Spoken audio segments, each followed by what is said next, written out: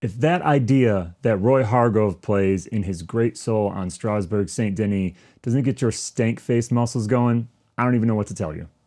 Today, we're digging into the source of that phrase and how Roy's playing can teach us not only how to sound great on Strasbourg Saint Denis, but also can inform our entire improvisational language. Thanks for tuning in today. As it says right up at the top, we're here talking about Strasbourg Saint Denis. This has become a modern day jazz standard. If you want a gig in many different styles, playing straight ahead jazz, playing funk, playing in wedding bands, this is a must know tune. It populates all over the place on the scene. And it's one that we really need to know how to sound good on.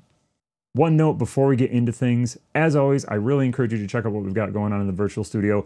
Today's virtual studio content is free to everyone. This is such a great tune, and really, we're going to talk about performance as really one of my favorite performances in sort of the modern jazz vernacular. And I just wanted to make sure I could share this with everybody, some of the practice strategies and those type of things. Remember, what happens here on YouTube is kind of only like half of the stuff I present, maybe not even half. If you go over to Patreon, follow the link below, there is a handout that has some additional material. And especially, I encourage you check out the practice video that is there. Each week, there is an additional practice video where we take some of these concepts and really break them down and actually like practice them together. We do some trading, we work on some licks, all that type of stuff. So that's all free to everybody. Just to kind of check it out this week and see if it's something that you would be interested in doing on a more regular basis. So, getting into the task at hand. The tune, Strasbourg Saint Denis, it appears in a number of different places. The studio version is on a great album called Ear Food, released in about 2008. We are actually going to talk about a live version that sort of floats around YouTube uh, from The New Morning. I think this is a Paris club. It is a wonderful live version, and to me, just one of the great live performances of this music that you can find on YouTube.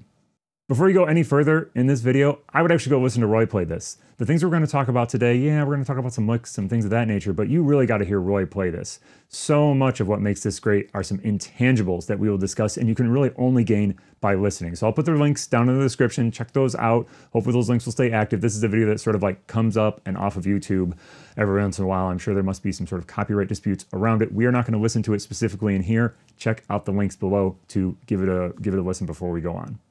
Did you do it? Did you listen? I really hope you did. It is such a great performance. It just makes me happy when I listen to it. It just makes me smile. So, we're going to talk about three main concepts today that really make Roy's solo tick from my perspective.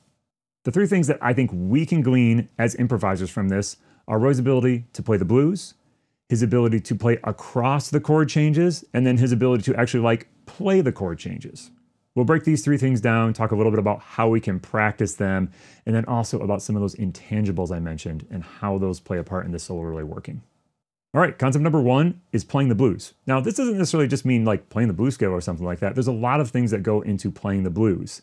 Let's just listen to one example. This is a transcription, a little bit of Roy solo, about five minutes and 30 seconds in part one of those two links that you could find down in the description to the actual performance.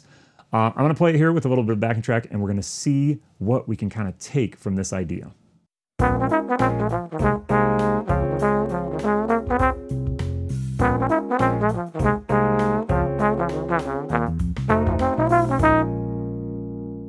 So, why do I call this blues? What about this is blues? To me, it's all about inflection and sort of the vocal quality that Roy is achieving here. There's vibrato on some of the notes. The notes are inflected. There's there's like little grace notes. There's scoops. There's kind of like little rips out of the note. All these things are what give it some vibe. Surely you could just play this idea without that stuff.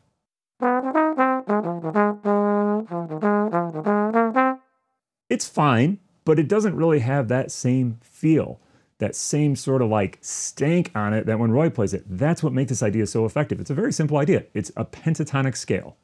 To build some of these ideas that Roy uses throughout this solo, he really relies on this sort of A flat major pentatonic with a flat third. We might call this the A flat major blues scale. That's a 100% oversimplification of what he actually plays. There's so much more to it than just the scale, but this will be the best place to get you started.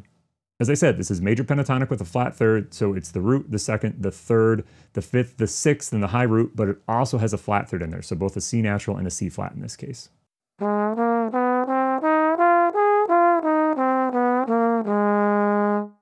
I often find this is one of the most overlooked little nuggets of scale information.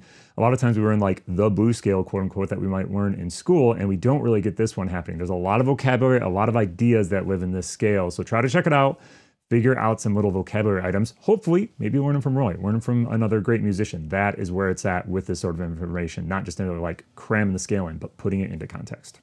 Speaking of context, I'm going to give it a go on one chorus of this tune, just trying to apply this concept of playing the blues and trying to be in the spirit of what Roy is capturing there. Now, yeah, I'm going to play ideas that are based off of this scale, but it's really all about that inflection, that feel, those vocal qualities to our tone that we really want to have happen. So here's one chorus. I will transcribe what I play after the fact and throw it on the screen so y'all can see what I am playing.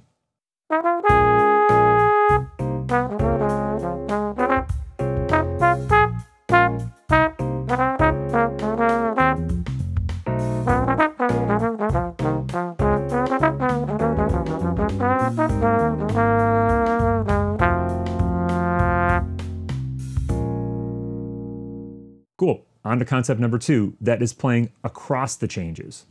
Now, this tune has chords that are almost exclusively diatonic, and they're very common chords that we see often, but it can feel sometimes a little bit awkward to really like play the changes on it because they move in a less conventional way, at least in some places, than we're used to seeing these chords. For example, we just sort of walk up through the changes, and that's not something we see as often in sort of a typical straight ahead jazz tune. To help us with this, since it's all really sort of in the key of A flat for the most part, we're really just going to build ideas that are in A flat. Maybe relying on rhythmic ideas, relying on repetition, relying on just strong melodies that are in that key rather than trying to be like, I've got to nail every single change. Let's look at how Roy handles this at the very beginning of his solo. So this starts at about four minutes into that track. Let's give it a listen of me playing this with a transcription so you can see what's going on.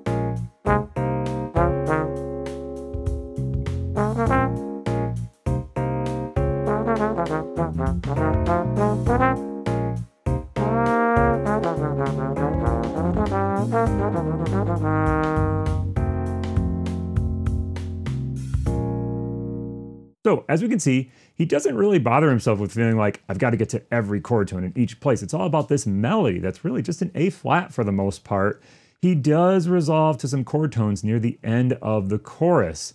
And that's one of the things that's key about this approach is generally we want to be melodic inside of the key and then just at the right moments, those key moments of getting to like that B flat minor 7 chord to E flat 7 resolving to an A flat major 7. He just gets us some nice chord tone things there which makes us feel like, "Oh, I'm back inside the harmony. It all sort of feels good."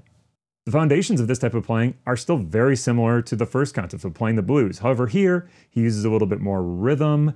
He doesn't necessarily inflect his lines in the same way. There's still a little bit of inflection for sure, but it doesn't have that same sort of vocal quality. It feels more like a horn player playing rather than like a singer singing. And so that's why I labeled this as sort of a different concepts that we can take away from this of how to play across the changes, even if it's not in that sort of blues inflected way. Cool, just like the previous example, I'm gonna give you one chorus where I do this, see if I can get it done anywhere near what Roy does. Probably not, but I'll give it my best shot here. And I'm gonna apply those same sort of concepts where I'm really trying to just stay in A flat, and then I'm gonna resolve the chord tones in key places.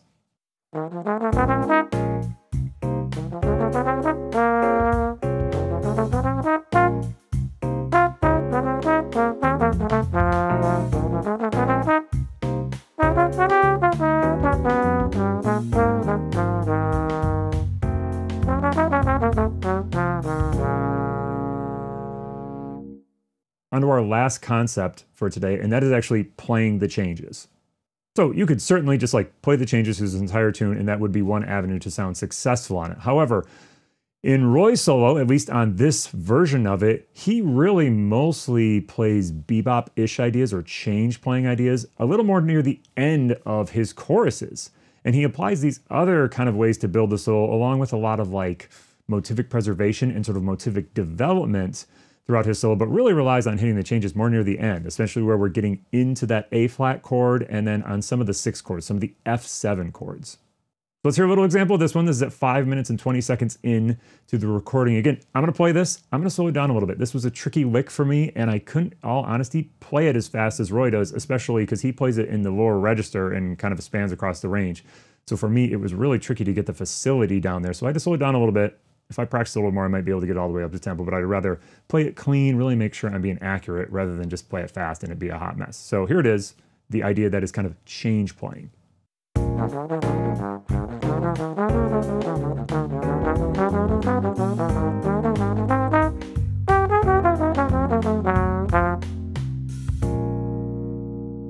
Now, what you might notice is it's very arpeggio driven. That's what gives it that feeling of change playing, of bebop, is hitting these arpeggios. And he actually does it in a pretty slick way. When I actually transcribed this, I was surprised how simple and logical it was. It sounds almost like hipper than I thought it was going to be. There is some cool stuff going on here. But in the first measure, let's just break it down a little bit. That B flat minor seven chord, you just arpeggiates up, back down, and then goes all the way down to the G because in the next chord, that C minor seven, he's almost implying like a G minor to a C minor sound, almost like a 251. Um, it doesn't actually go to two five, or excuse me, go to F like it would, and obviously the the five chord is minor, but it's very much that type of sound, almost like a two five one going to an F minor thing. And then when he gets to that D flat major seven chord, he totally treats it like uh, a B flat minor seven chord and treats it like a two five one. So a B flat minor to E flat seven, resolving to A flat. Um, he does that actually a number of times in this solo, where you can really tell those ideas sound more like B flat minor than D flat major. One little extra note on the five chord on the E flat chord, he superimposes up a minor shape, a half step. So like E minor on E flat dominant seven. That's a great way to get all the alterations in there. So actually a really slick 2-5, that would be a good one to take through all the uh, all 12 keys. And as I mentioned, he really likes to hit those six chords and really play changes there right here. Straight up bebop, just hitting um, all the chord tones in that six chord really, really clearly. So what can we take away from that? For me, it's all about thinking, well, maybe I don't need to play changes on the entire form of this in order to play a good solo. Finding those key places to really feel like I'm going to indicate the chords here can give us like good variety, good contrast in this, can give us a number of different options to go. And then it's just not going to be a stream of eighth notes, or in this case, 16th notes for the entire length of your solo, which in all honesty, for the listener, is a lot of times pretty boring. You might be playing some cool stuff, but I guarantee you it's going to go over the head of a lot of the listeners. When you listen to Roy, it's so melodic. There's so much soul. There's so much humanity in his playing that when he goes to those things that are a little more like slick or a little more musically complicated, possibly we might think about it, they really land because there is contrast. All right, one more time for me to give this a try. I'm gonna play one chorus. Again, I'll throw it on the screen and hopefully you can sort of see where I'm trying to connect some of these ideas of playing melodic, maybe playing some blues, playing some across the change playing, and then really getting to chord tones in the right places and maybe, you know, a few two five ones, that type of stuff.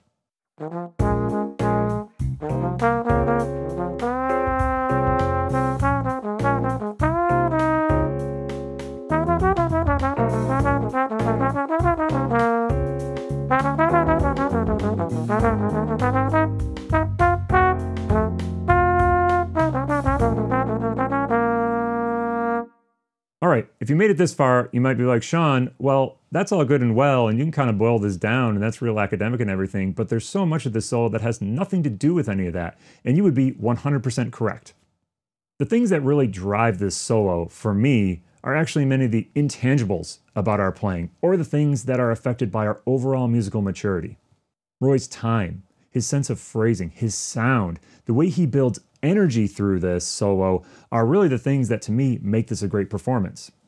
Those things, admittedly, are very hard to teach and are very hard to practice unless you simply go to the recording, play it along with Roy, and try to sound as much like him as you possibly can. That is the real key. If you could do anything to make yourself a good improviser, it wouldn't be to watch my YouTube videos. I hope they're helpful for you and all that type of stuff, but it's to go to the masters and just try to do what they do. You don't want to sound like a Roy copy. You want to sound like you are informed by Roy's playing, that you know his playing, it taught you something, and you're doing something new with it. That's what we got for today. I hope this lesson was helpful for you and thinking about this tune. I love playing this tune. These are some of my approaches. There are certainly other approaches you could take. But from having transcribed Roy playing a couple different performances of this, to me, that's kind of what he does, at least from a nuts and bolts standpoint. Now, all those intangibles, you got to work on that as well. That's what will really get you there. But if you're just working on trying to get the kind of X's and O's together of this tune, this is where it's at. All right, I'll see you in the woodshed.